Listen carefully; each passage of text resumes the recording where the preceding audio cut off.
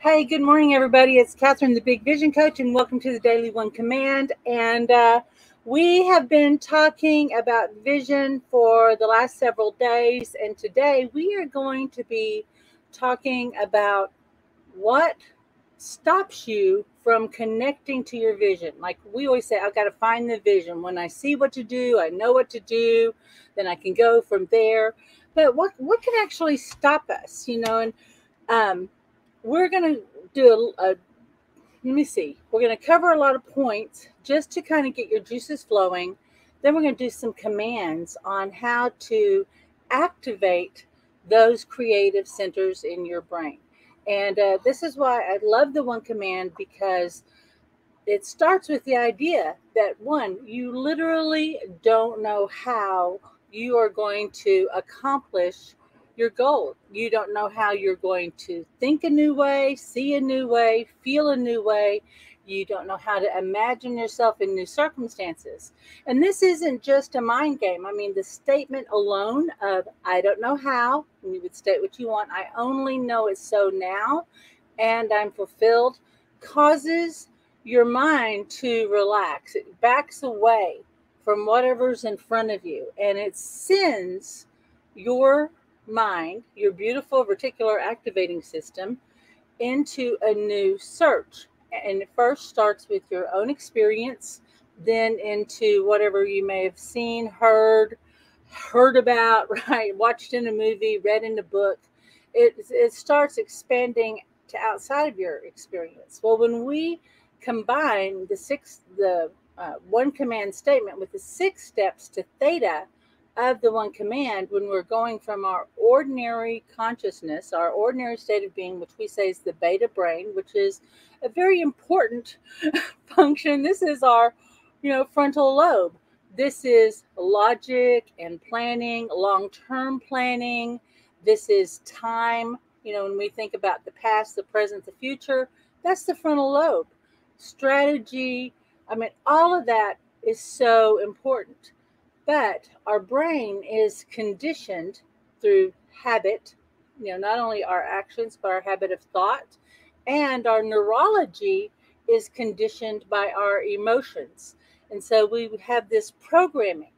And if we have victim programming and we want to step into the creative, I can have anything that I want uh, world, our neurology is not matching that. And what will happen is you um, actually aren't able to go through the correct sequences to achieve your desire. Your victim um, programming, uh, which is identity, right, and strategy, and this is how the world's supposed to work, and this is um, your model of the world. Now I'm kind of rushing through this, but this is a neurological pathway. And what happens is, I don't know if you've ever had this happen where things are going good and then you start feeling worried because it feels like the other shoe may drop anytime. Well, that's a sign that you are used to things not working out for you. You're used to things being taken away from you it can feel wrong to be happy because something always happens and that is victim programming. Because then you're tense you're upset you start watching and guarding you try to um, make your world smaller to stay safe. And the thing is there's actual relief for a lot of people when things don't work out okay? So there's a deeper talk that we do about that in commanding wealth and teaching the one command. But what we're talking about today is finding your vision. And we're going to talk about what can stop you. Okay. And then we're going to do commands around that. And I just want to say a quick good morning. If you haven't had a chance to uh, like the StreamYard app that's in the description, you'll find it kind of towards the bottom of the description, wherever you're um, looking at, could be here or here, depending on where you are. If you are on YouTube watching this, then um, I can see your comments directly. I want to mention I do have the YouTube link in the description. And the reason you want to be sure and go there and subscribe is that I put all these talks together in special playlists, but then you have a way to access everything. The other thing I want to mention too is that all of these videos and the audios that go with them are found in the private my private group off Facebook, off Instagram, and all that at kathrynperry.net and join our free community. You join there, you'll be able to access not only the archives of all of these calls and the audios, you'll be able to find all the commanding uh. You'll find audios, I mean, uh, videos of our a lot of our past circles where we dealt with um, particular challenges that people were going through, um, very special private teachings that I did for groups for about two years. Then I have a lot of my special teachings in there and blog posts. You definitely want to tune into that. So if you haven't joined the free community yet, please be sure and do so. Okay. All right. So what are we talking about? We're going to find our vision, and we always start with a lens. And you know, when we talk about vision, we usually see a quote like this, but you know, I'm loving Arnold Schwarzenegger these days. You know, when the older he's getting, I am finding myself like falling in love with him because he's wiser and kinder and he's got this big heart for service. And he always did he always had a vision not only for his life but his own impact. And um, he had a you know we always think about how talented and amazing he is. But you know what started that fire in him was that he was bullied because growing up in Austria, his dad had been in, was in the Nazi re- regime. And so they were outcast and he was bullied and he, um, and his dad was very abusive, right? And so he had these really difficult circumstances, but he turned that all of those circumstances into something greater. And I always have to admire him. You know, we always think about all the, you know, being a movie star and that life, that type of thing. Good morning, Miss Lenora. So happy to see you. But um, I, I just, uh, the more I learn about him, and he always like puts himself out there. He's always put his life out there. This is who I am, right or wrong. And then he always seems to be invested in his growth at whatever age. And I'm really seeing him in his older statesman years. And uh, I've seen a lot of his posts to people, and it's just so kind and loving. And so um, I've started paying more attention to the things that he says. And so Arnold says this about vision You've got to believe in yourself. You've got to have a very clear vision and you've got to have the fire in your belly and go out and not be shy with working because it takes a lot of work. And if anyone knows anything about him, of course, we know that he's kind of like legendary in his discipline and his hard work.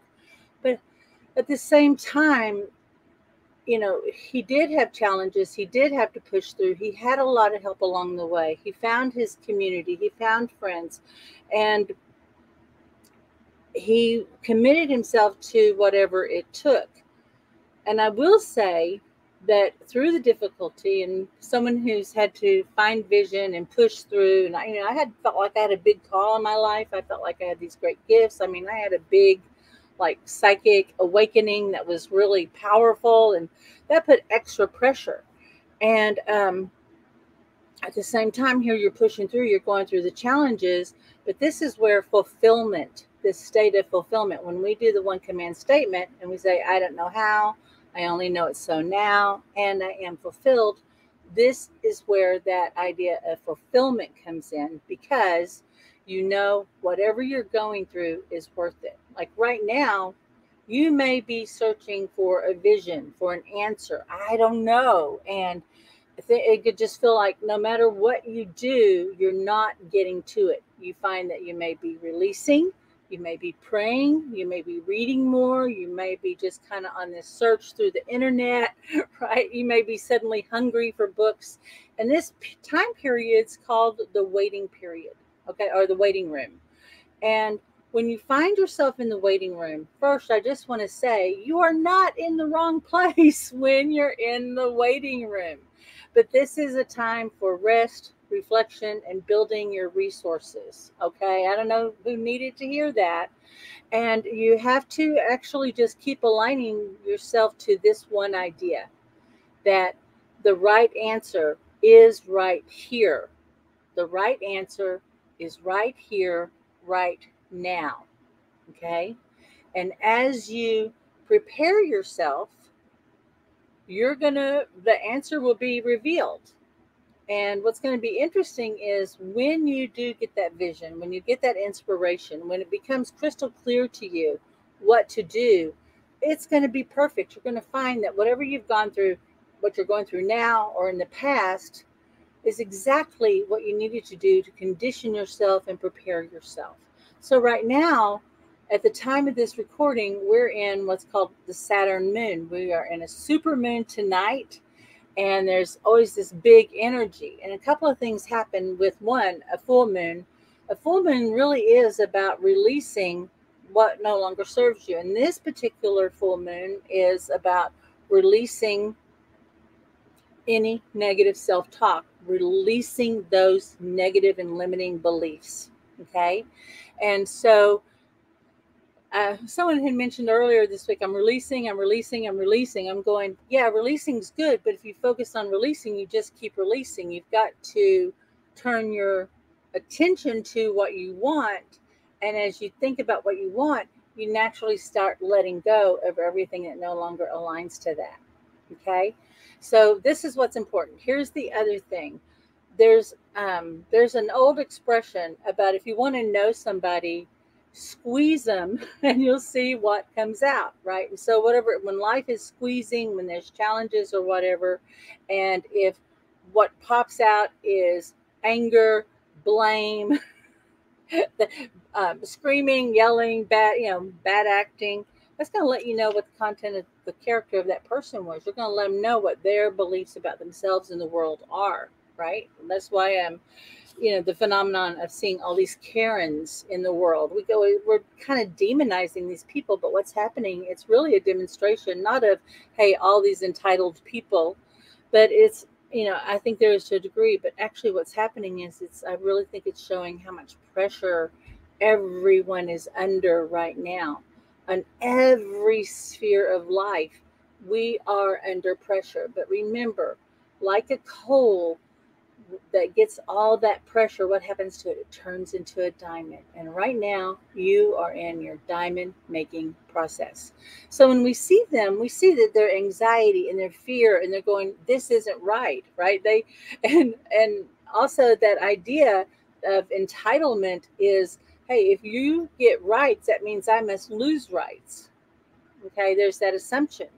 And the thing is, rights aren't like a pie you know, it's like, hey, there's only so many rights. I get some rights, so some get taken away. No, the more rights we afford each other and for freedom and happiness, right? And so that everyone's needs and desires can be met, the more there is for more people, right? That that's the paradox. And when we're in that fear, and I really think that a lot of that, someone mentioned, and I'm off completely off track. I'm gonna get back to this, but someone really did a, a great job of talking about this. And they talked about people of European ancestry.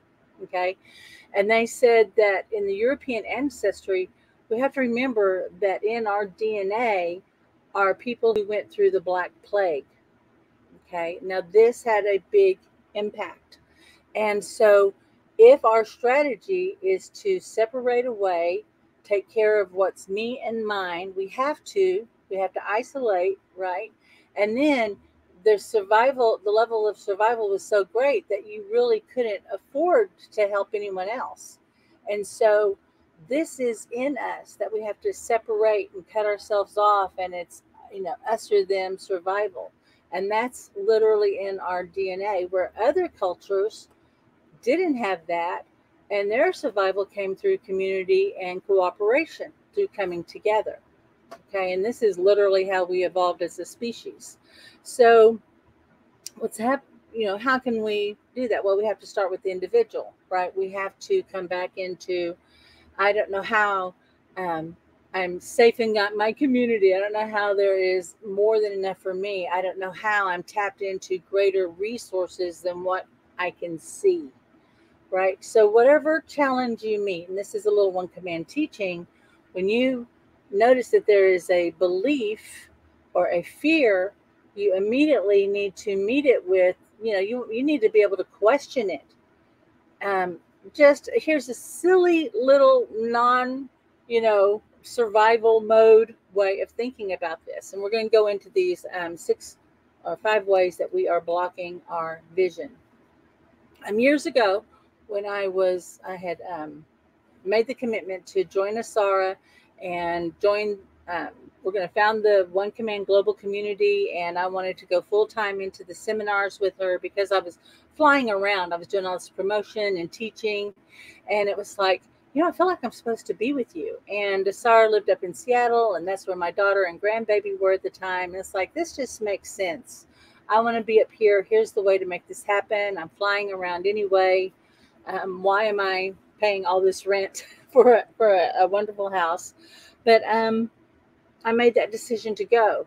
And there's this one little section in Dallas I just love to go through. And um, it was the day that I had pre, you know, it was the the garage sales were done. I was going home to pack up the last of my stuff, and like the next day, I was going to be getting the car and driving away. And so I'm driving down the road, and there's this one section that I just love to drive through on Forest Lane in Dallas, and it's this section where every year these school kids paint this one wall, and I always love seeing this mural and the wall was probably about 50 feet long and so i just I, sometimes i would go out of my way because i just loved that idea of kids just you know sharing their creativity and the happiness and the hope and the inspiration. And i thought wow i'm never going to see this again. I'm really going to miss this. And then immediately i just challenged it. It was like why is that true? Why do you think you're never going to come back why do you think that you wouldn't come back to Dallas and see friends and family, which I had a huge community of friends at the time? Why would you think that leaving means never returning? Well, that had been my history. That's how I'd been conditioned. And then immediately I realized that that's why it was hard for me to make change because my whole life growing up, we moved a lot. And as soon as I moved to a new house, a lot of the relationships left. My mom was married three times while I was growing up, so I lost whole families. Okay, so I mean, tumultuous growing up. And I just realized that this conditioned belief about once you go, there's never any going back, you lose it all. Immediately, I stopped and I did a command. It's like, I don't know how, as I move forward, I have even more friends and support, and I build on my deep relationships. And, you know, I came back home about seven years later and I got to, you know, maintain all those relationships. I'd come back several times. And so you have to be able to meet it in the moment. Okay. So good morning. Hey, good morning, Mr. David. Let's see who else we here. Good morning, Miss Lauren. Happy to see everyone. Okay. So I'm gonna get a little sip of water. Okay. So when we see a quote like this, we go, oh, gosh, he had that clear vision. He had that fire in the belly. You know, he wasn't shy. He put himself out there. And if you remember, you know, he he, still has a thick accent, but Arnold had a super thick accent and it, a lot of people do not like foreigners of any kind, right? And so he had to overcome all of these reasons that he gave himself about why he couldn't do it. But I want to address one this fire in the belly idea and what can stop us. We have this idea that there's this fire outside of us that we somehow, somehow either arrives like, ah, arrives, it comes to us, or, you know, it's bestowed upon us, or we come upon it, right? Like, oh my gosh, there's the fire. I want this. Here's my burning bush. But you know what? It's fire in the belly. And there was something that lit you up inside. that's a, and this is something about your own unique essence. So when we think about what is blocking our ability to vision, I'm going to say it starts one with self identity.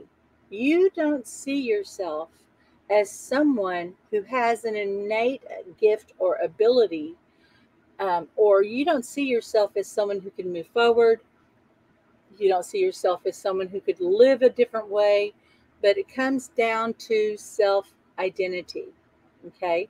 So, number one, you know, like the main thing that separates creative people from non creative people is just creative people have an idea about being creative.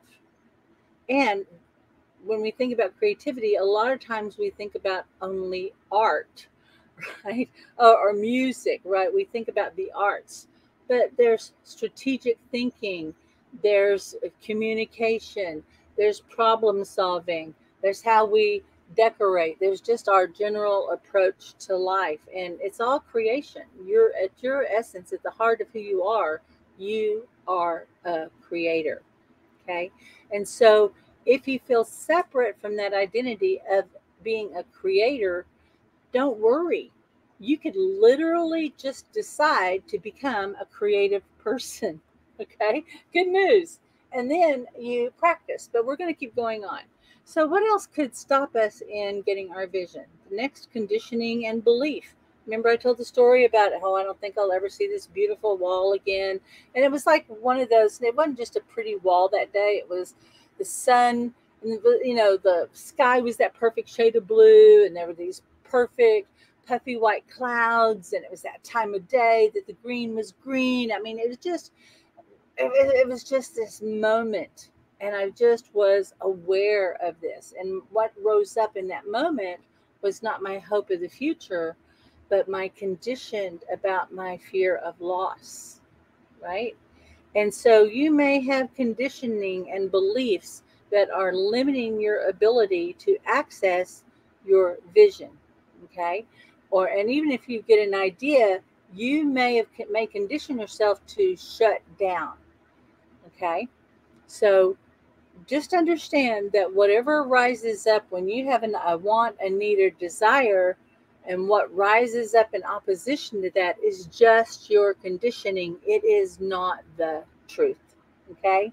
Good morning, Miss Kathy. Thanks for joining.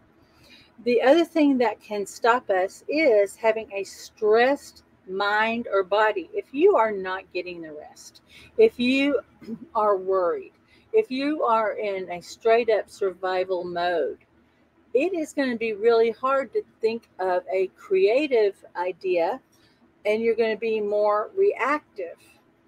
Okay? Reactive, a reactive mind is not a visionary mind, it's a remembering mind.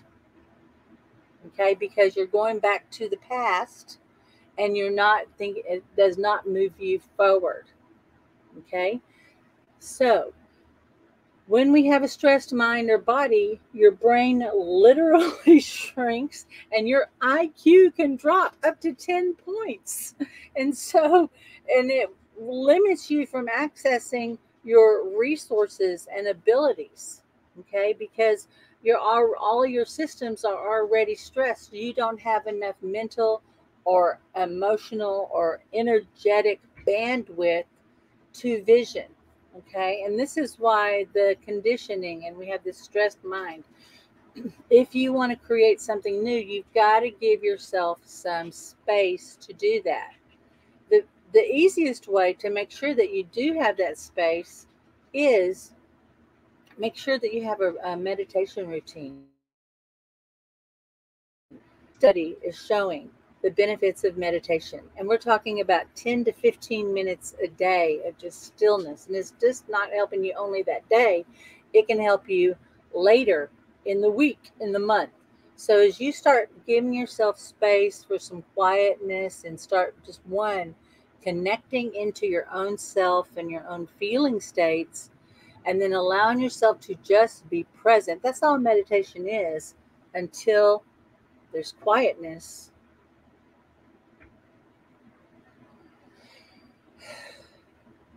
there's going to be room for something else to arrive. Okay? All right. So, what else can stop us? Our environment. If you aren't in the right creative environment, and I have to say, this is something that I kind of struggle with. Um, I tend to kind of get in my head, and I notice that, you know, I have I've been home all day. I've only I have only been in my own backyard, and um, it gets very limited. And when I need space to create, I need physical space around me. A big thing that stops a lot of people, and the number one block that all my clients report is clutter. And did you know that in manifesting anything, the first step is clearing clutter, the physical clutter and the mental clutter. Okay, so you don't have to clean your whole house from top to bottom, but you have got to create an environment wherever you are outside of you and inside of you so that it's conducive to creation. Okay. And so that's why, for me, you know, um, driving really helps because that helps, um, that takes me out of that beta brain and I tend to go into a more creative mode. Well, now I have to find some different ways, right? Um, those nice long leisurely drives on the highway, I'm being a little more conservative right now, but doing whatever I can to change my environment. So I'll do things like I'll go to a coffee shop when I really need to get in that creative space. Sometimes just, you know, popping into a coffee shop, um, getting around other people who are thinking about things, hearing those voices and that clatter. Um, that actually calms me down. I've worked as a waitress for many years in my youth, and there's something about all that noise turns into white noise, but also there's all this active thinking going on, and it kind of turns on my brain. So, investigate, spend some time looking at how you can use, you know, how you can shift your environment or use other environments to stimulate your um, visioning capacity. Um, hey, you may have just never learned how to um, vision. I mean, this is a practice, okay? And it could feel like play, or maybe your mind kind of goes off in different directions. And that's why using tools like mind mapping are really important. Um, there's the Disney creative strategy that we love, we use in the Commanding Wealth. There's um, different um, strategies like at the lower um, right down here, you'll see something called the fishbone. And it's like, hey, what is our problem? And then you're able to identify the different problems. Then you can use this same format to create new solutions. And then there's a um, process called the pink sheet. I don't have time to go into this, but it really, this process developed by Matt Church teaches you how to do deep thinking. And they have this amazing process using sheets like this that one, you can hammer out what your bigger concept is, but using these simple sheets, you could literally come up with a solution to just about anything. If you wanted to write a book, if you had a creative idea, you wanted to uh, do a movie, design a new thing.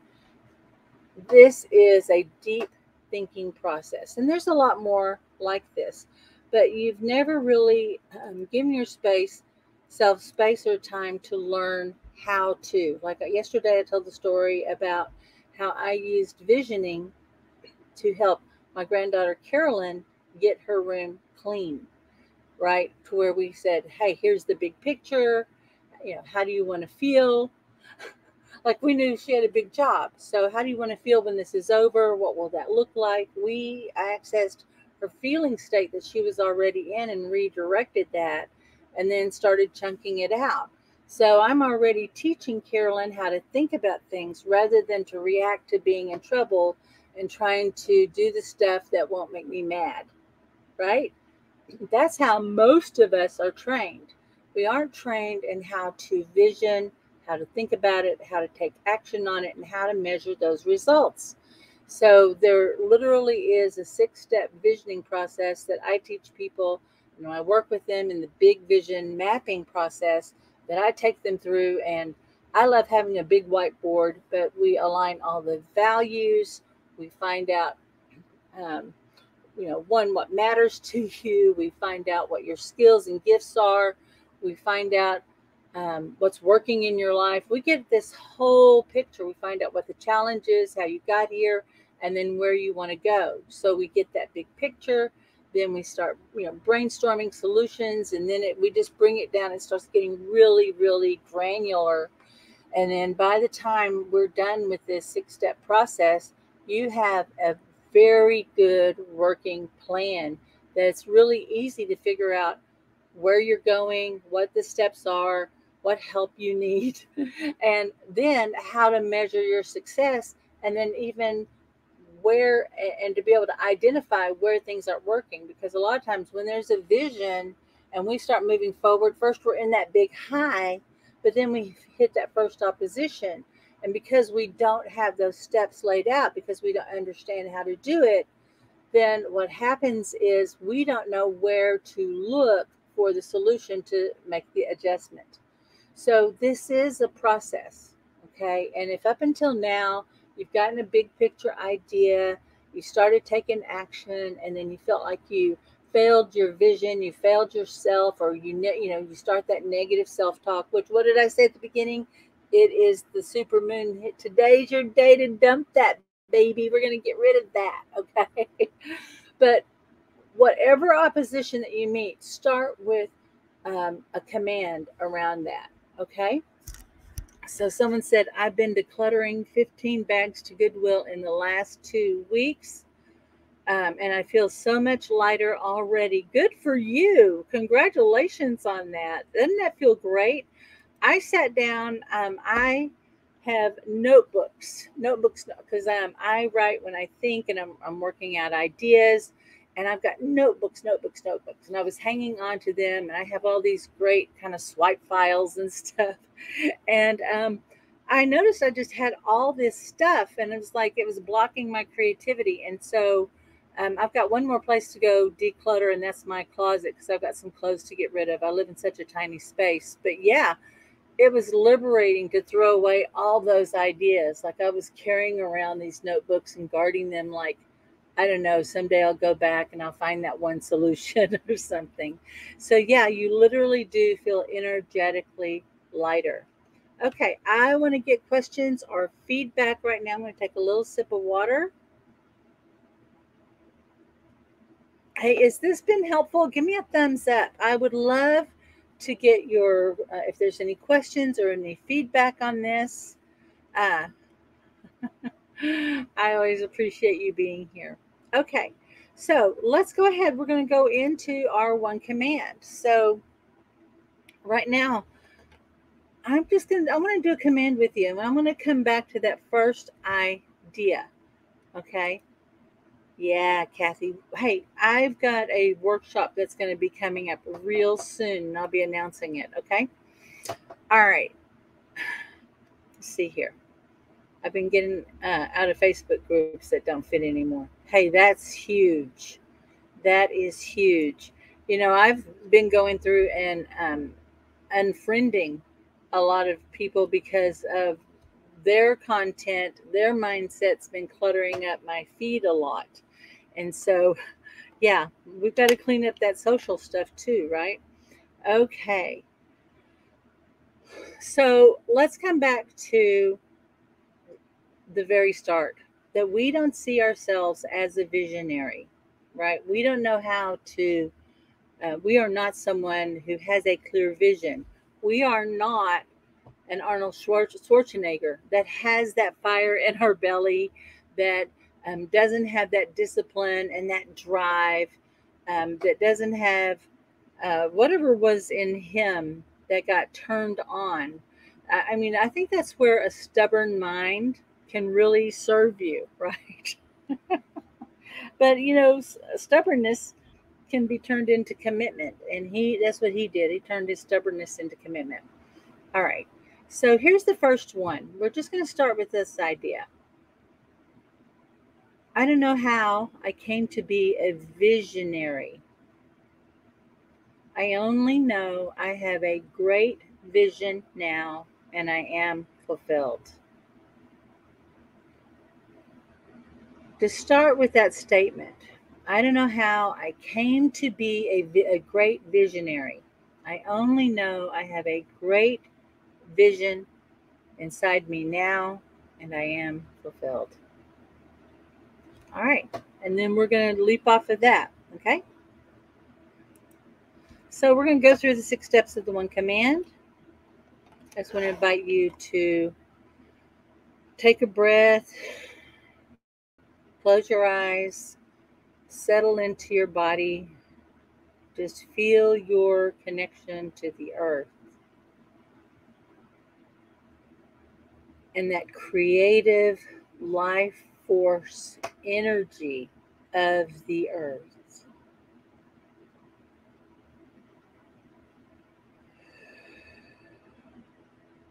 Yes, some people you may feel like you're way up in your head, and your neck, and your shoulders. Slide down your spine into your body, into your hips, into your knees, where you feel that energy going right down into your toes. Thank you.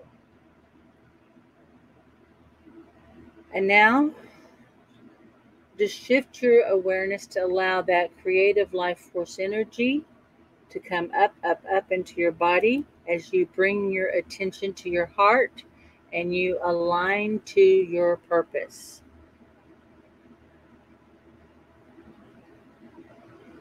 And your purpose is you want to find your vision. You want to be able to get the vision, turn it into a working plan, take action, and get measurable results.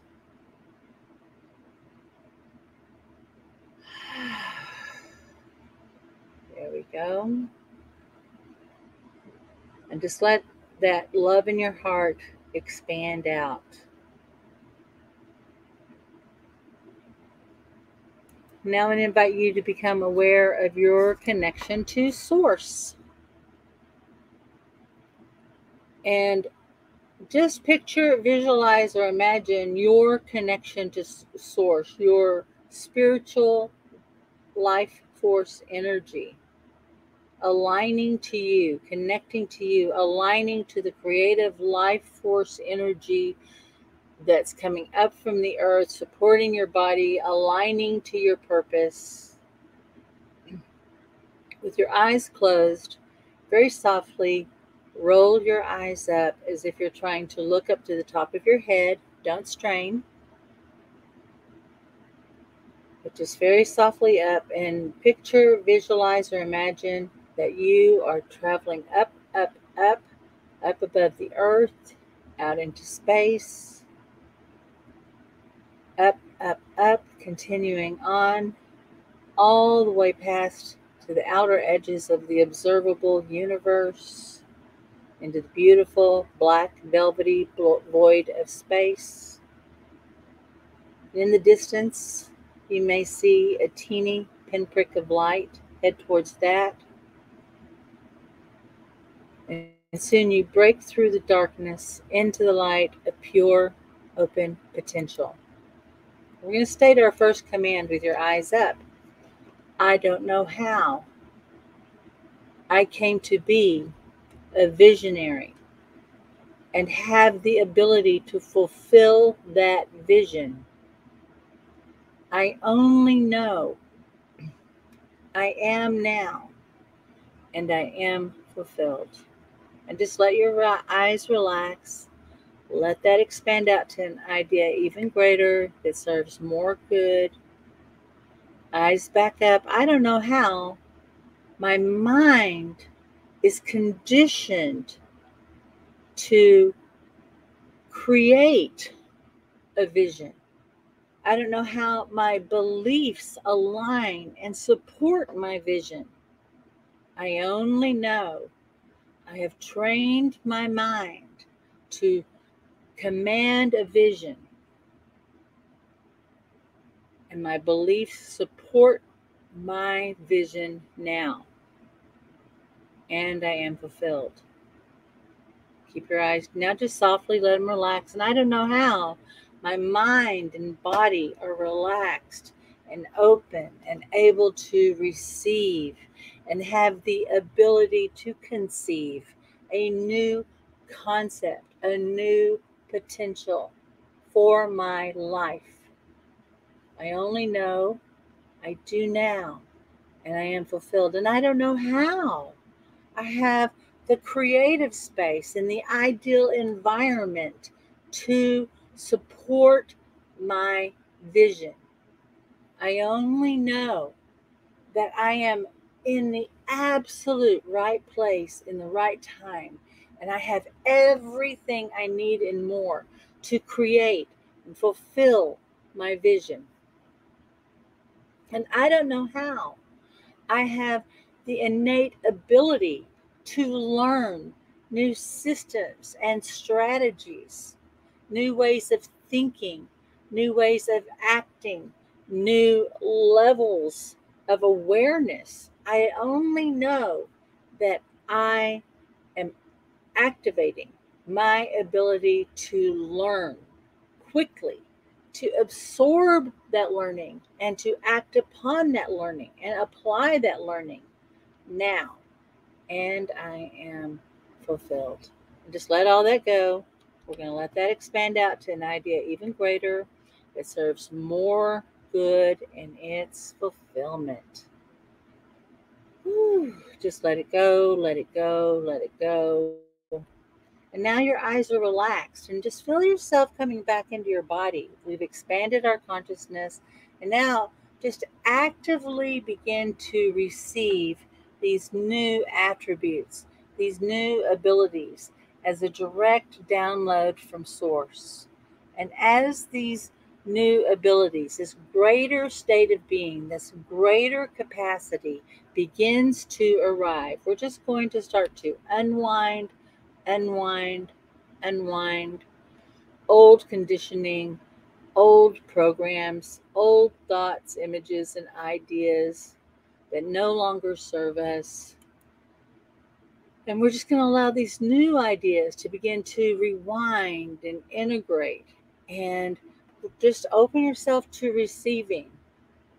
And in this space between knowing and not knowing, let there only be love.